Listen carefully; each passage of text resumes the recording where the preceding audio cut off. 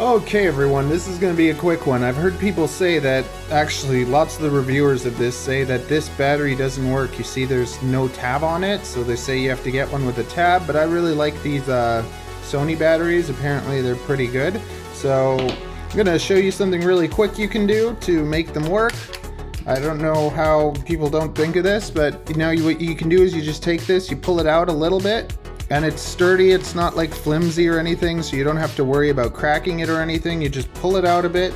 Now you got to look inside here. It'll say positive and negative so there's your positive side here your negative side here.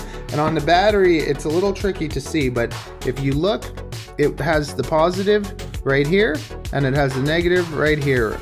So you just look at that, oh, positive, let's stick the positive side on the positive side and the negative on the negative side. We're gonna stick that in there. It's in there pretty good. It's not falling out or anything. So we're gonna stick the cover on and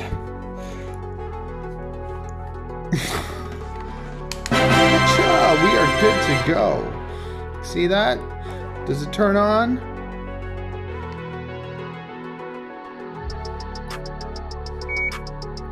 there we go. It's working fine. So hopefully uh, that helped you out. Now you can use any battery and it doesn't have to have a tab or anything. And I've been doing this for a little while and there's been no problems. It's not falling out or anything. So just grab that little tab, pull it out a bit, and you are golden. If that helped you, please like the video. Consider subscribing. My channel is all about sub 250 stuff, and I'm to be doing a little bit more stuff with this controller too. Teach you how to set it up and all that stuff too. Okay, have a good one.